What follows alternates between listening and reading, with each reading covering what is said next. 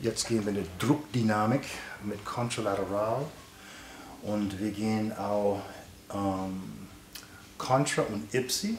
Der Kontralateral äh, wird so gemacht, okay?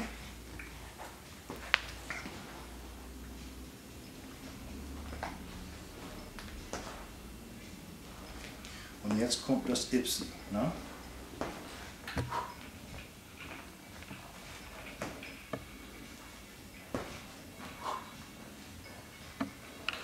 Contralateral. Ganz langsam, ich arbeite ganz langsam, weil ich muss mich genau mir merken, was ich mache mit meinem Körper, meiner Bewegung. Jetzt kommt das Ipsi.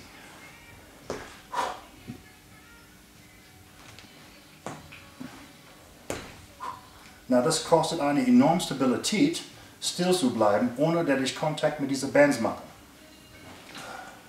Jetzt kommt es wieder. Contralateral guck mal, was der andere Arm macht, was nicht in der Dynamik ist. Der ist immer 90 Grad geflext. Ne? Du guckst, du kannst meinen ganzen Körper anschauen, jeder Muskel arbeitet. Jetzt kommt der Ipsi.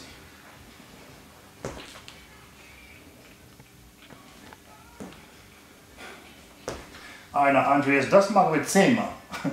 Also ich glaube, 20 Mal auf das hier muss nicht sein.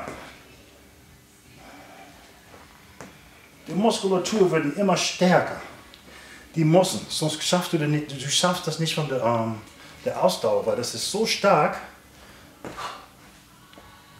Die Beine trainieren unheimlich viel mit, das Gesäß. Pause.